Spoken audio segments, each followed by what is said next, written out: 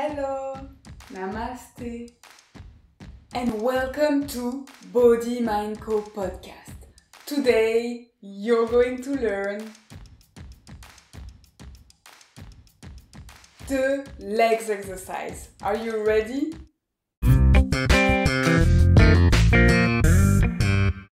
In a Body Mind Co Hatha Yoga class, you will always start with relaxation, Shavasana before going into the breathing exercises, Pranayama, again relaxation, Shavasana, and then the sun salutation, Surya Namaskar, again relaxation, Shavasana, and then the legs exercise. The legs exercise is going to be the last exercise before going into the postures, the asanas.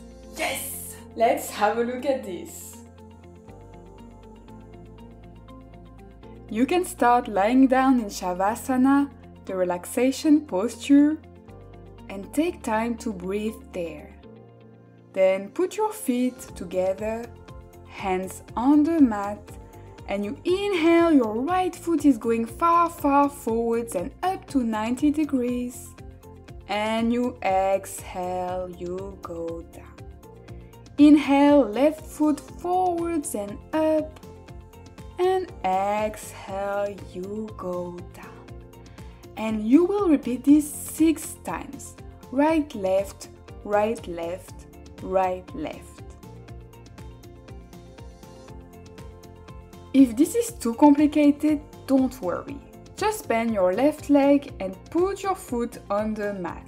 Push with your hands and your foot to help yourself lifting your leg and exhale, go down. And you repeat this three times with the right leg and three times with the left leg. When you're finished, lift your right leg and catch your thigh or your shin.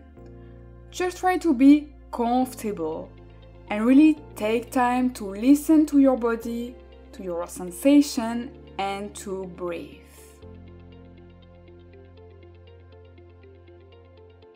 You will do this exercise with the two legs together.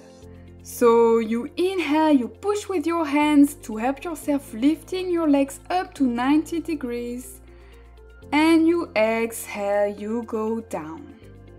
And you repeat this again. Inhale, lifting your legs. Exhale, putting them back down. Again, if this is too complicated, don't hesitate to bend your legs. This is fine. When you're finished, you go back to Shavasana, the relaxation posture. Take time to breathe, to sense your body. Now you are warm enough to go into the asanas, the postures. During the asanas, it will be very important that you link the postures with the breath and with the concentration. Don't forget to listen to Body Mind Co audio podcast, French, English, and be warm enough for next week when we will introduce the first posture, the shoulder stand Sarvangasana. Thank you for watching. Merci. Namaste.